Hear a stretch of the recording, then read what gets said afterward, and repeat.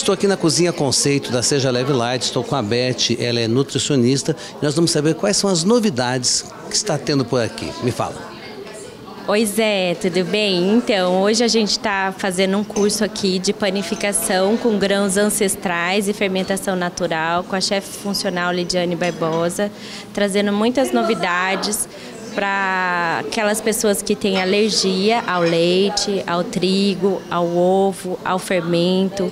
Então, é uma opção muito legal para quem tem desenvolvido essas alergias, dermatites atópicas, alergia tardia, com grandes resultados na troca desses alimentos e tem sido um sucesso.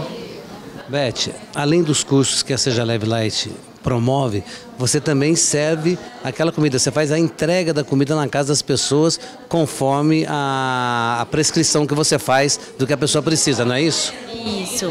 Nós fornecemos as refeições balanceadas de segunda a sexta, com seis a oito refeições diárias, com vários tipos de alimentação. Então, nós temos as dietas personalizadas, onde você pode escolher as dietas fitness, a dieta low carb, a dieta funcional, a dieta sem glúten só, e tem as dietas para gestante, para quem é diabético, para crianças. Então a gente sempre inovando para trazer uma mudança na alimentação e melhorando a qualidade de vida dos nossos pacientes.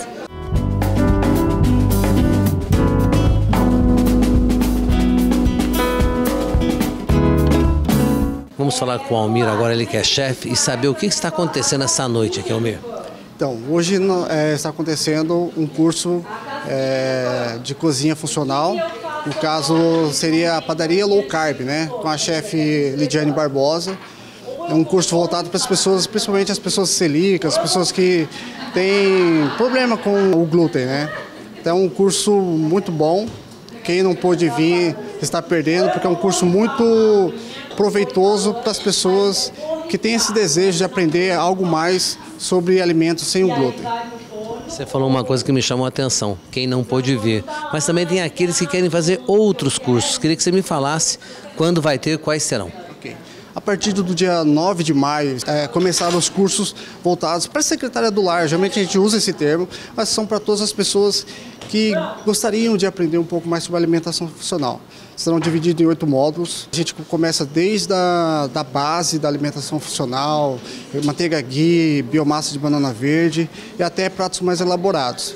Então vai ser um curso é, bem dinâmico, mão na massa, um curso voltado para as pessoas que não sabem cozinhar, mas querem aprender, ou para aquelas que já sabem cozinhar, mas gostariam de aprender algo mais. É, entra em contato com o Instituto Elizabeth Pinheiro, eles estarão passando maiores informações. É, siga no Instagram, fica mais fácil essas informações.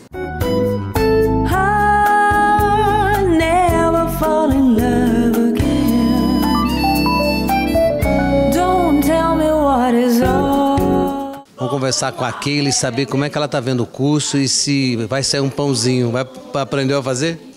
Olha, eu espero chegar em casa e fazer muito pão, porque eu sou italiana. É, por conta de algumas intolerâncias, eu tive que parar de comer o glúten. E hoje eu vim com muita esperança de chegar em casa e fazer pão e voltar a comer pão como eu comia antes. Queria que você me falasse o que você acha dos cursos aqui da Seja Leve Light. É o segundo curso que eu faço, eu já fiz um de risoto, esse é o segundo, eu acho espetacular, é muito bom, a cozinha é linda, a gente sempre teve instrutores, né, professores muito bons. Eu indico para todo mundo, é muito legal.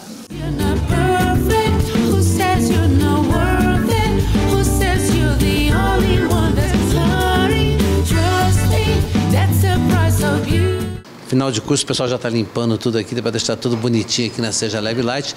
Vamos conversar com a Lidiane para saber como é que foi. Né? Posso chamar de aula? Pode, na verdade eu acho que é uma experiência. Inclusive, até a última vez que eu dei aula em São Paulo, a gente chamou de experiência de fazer pão, porque para fazer pão você precisa ter paciência, perseverança e muita persistência também. Então eu acho que é isso, uma experiência. Eu vi que ela estava distribuindo uns potinhos aqui. Ali é o grande segredo do pão?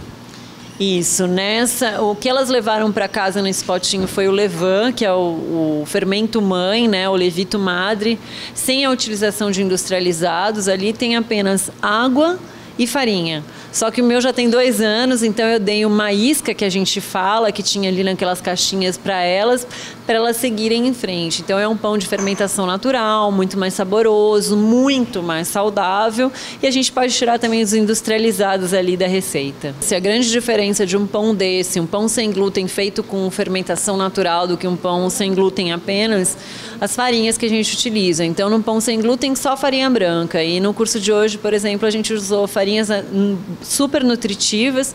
Então além da gente comer um pão gostoso, a gente também acaba nutrindo o nosso organismo.